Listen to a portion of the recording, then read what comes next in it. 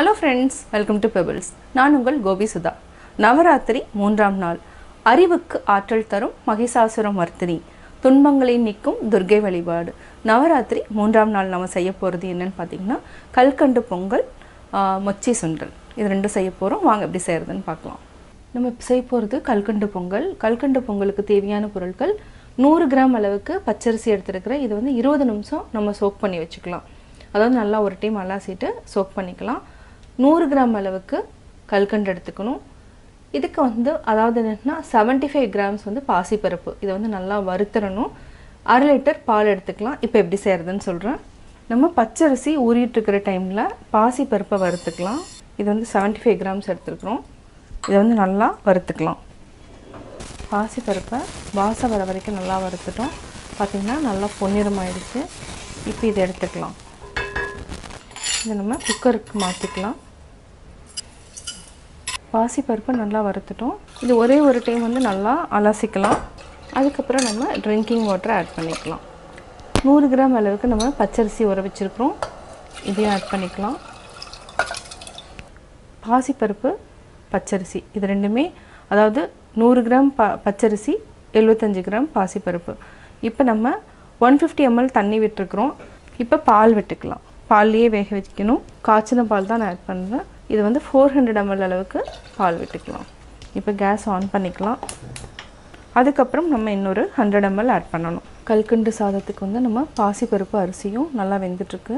இப்போ நம்ம ஒரு ஹண்ட்ரட் எம்எல் ஊற்றிட்டு ஆல்மோஸ்ட் பார்த்தீங்கன்னா ஃபைவ் ஹண்ட்ரட் எம்எல் ஆயிடுச்சு. இப்போ ரெண்டு விசில் விட்டு எடுத்துக்கலாம்.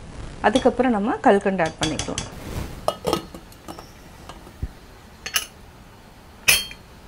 Few moments later.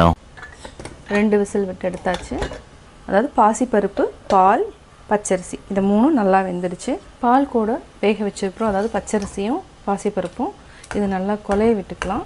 இப்போ நம்ம நூறு கிராம் அளவுக்கு கல்கண்டு வச்சுருக்கிறோம். இதையும் நம்ம ஆட் பண்ணிக்கலாம்.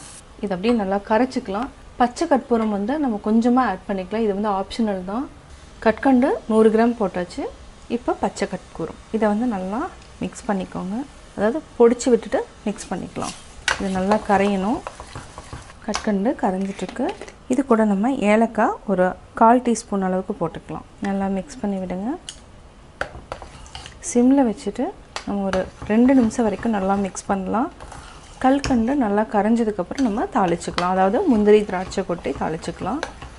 ஒரு நிமிஷம் வரைக்கும் அப்படியே சிம்மில் வச்சுட்டு கொதிக்க வச்சுக்கலாம். நம்ம ரெண்டு டீஸ்பூன் அளவுக்கு நெய் விட்டுக்கலாம். இதுக்கு ஒரு பதினஞ்சு முந்திரி போட்டுக்கலாம். பொன்னிறமாக வறுத்துட்டு திராட்சை ஆட் பண்ணிக்கலாம். இது நல்லா உப்பி வரட்டும். நம்ம கல்கண்டு பொங்கல் கூட ஆட் பண்ணிக்கலாம். நல்லா மிக்ஸ் பண்ணிக்கலாம். இப்போ நம்ம வேறு பாத்திரத்தில் மாற்றிக்கலாம் கல்கண்டு பொங்கல் ரெடி நவராத்திரி மூன்றாம் நாள் கற்கண்டு பொங்கல் ரெடி நவராத்திரி மூன்றாம் நாள் செய்யக்கூடிய நிவேதனம் என்னன்னு பார்த்தீங்கன்னா மொச்சை. இது வந்து நான் எயிட் ஹவர்ஸ் ஊற வச்சுருக்கிறேன். இதை வந்து ரெண்டு விசில் விட்டு எடுத்துக்கலாம். இப்போ நம்ம குக்கரில் போட்டுக்கலாம். இந்த தண்ணி வந்து நம்ம அதாவது இன்னொரு டைம் வாஷ் பண்ணிவிட்டு நம்ம வந்து வேக வச்சுக்கலாம். இதே தண்ணியை நம்ம யூஸ் பண்ண வேண்டாம். ஏன்னா இந்த தண்ணி யூஸ் பண்ணிங்கன்னா கொஞ்சம் வாசம் அடிக்கும். அதனால் இந்த தண்ணியை மாற்றிடலாம் நம்ம. முச்சியை நம்ம வாஷ் பண்ணி எடுத்துட்டோம். தண்ணி ஊற்றிக்கலாம் இது மூழ்கிற அளவுக்கு ஊற்றிக்கலாம் கொஞ்சமாக மஞ்சத்தூள். இப்போ நம்ம ரெண்டு விசில் விட்டு எடுத்துக்கலாம். Few moments later.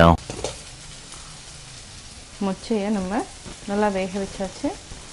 இந்த அளவுக்கு வேக வச்சுக்குவோம் இது தண்ணியை வடிச்சிட்டு இப்போ தாளிச்சுக்கலாம். மொச்சியை நம்ம தாளிச்சுக்கலாம். இதுக்கு ரெண்டு டேபிள் ஸ்பூன் அளவுக்கு எண்ணெய் விட்டுக்கலாம்.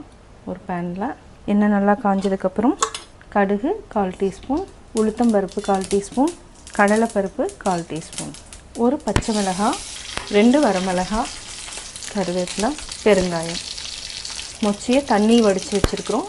இப்போ பேனில் ஆட் பண்ணிக்கலாம். நல்லா மிக்ஸ் பண்ணி விடுங்க. ஒரு ரெண்டு டேபிள் ஸ்பூன் அளவுக்கு நம்ம தேங்காய் ஆட் பண்ணிக்கலாம். நல்லா மிக்ஸ் பண்ணி விடுங்க. மொச்சை சுண்டல் ரெடி ஆயிடுச்சு. இப்போ நம்ம ஆஃப் பண்ணிக்கலாம். சுவையான மொச்சை சுண்டல் ரெடி கல்கண்டு பொங்கல் மொச்சை சுண்டல் எப்படி செஞ்சுங்கிறது பார்த்தீங்க நீங்களும் வீட்டில் ட்ரை பண்ணி பார்த்துட்டு உங்களுடைய கமெண்ட்ஸ் எனக்கு சொல்லுங்கள் பிடிச்சிருந்தா லைக் பண்ணுங்கள் மறக்காமல் சப்ஸ்கிரைப் பண்ணுங்கள்